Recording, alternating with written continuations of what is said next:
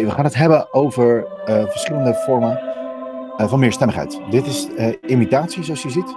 Hier krijg je stuk voor stuk de sopraan, de alt, de tenor en de bas die inzet. En die doen elkaar na. Dat heet imitatie.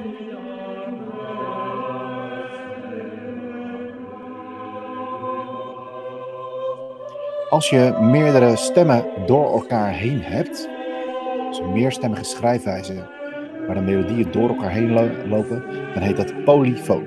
Poly betekent veel en foon is geluid. Zoals je hier kan zien lopen al die stemmen door elkaar heen.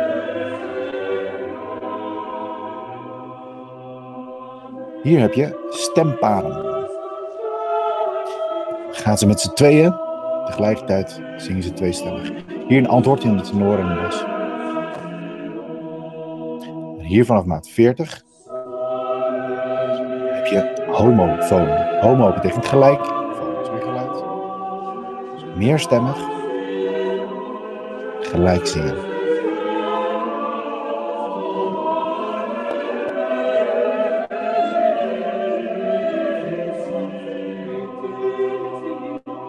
Of dat was het homofoon en polyfoon. Bedankt voor het kijken. Zie je volgende.